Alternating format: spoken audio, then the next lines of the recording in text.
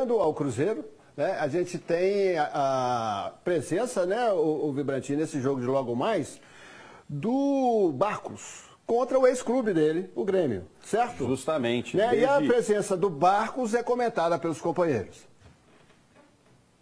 É a presença do Seria Barcos. bom, seria bom que ele consiga volver a trazer alegrias primeiramente para eles e depois para o time e a torcida toda.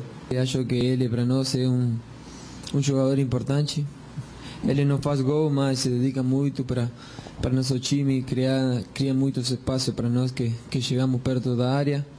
Eh, acho que el, a posição dele é para nós fundamental. Eh, sem dúvida que o gol já vai vai chegar. Eh, é um momento que temos jogadores que a vezes agora não não querem entrar, mas sem dúvida que ele tem que seguir treinando como está agora, tranquilo e, e tudo vai tudo vai dar certo.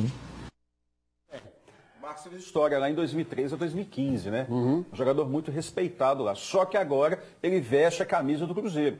O maior time de Minas Gerais. O único que está em três competições, né? O único que nunca foi rebaixado. Então é o Cruzeirão, é a camisa do bar.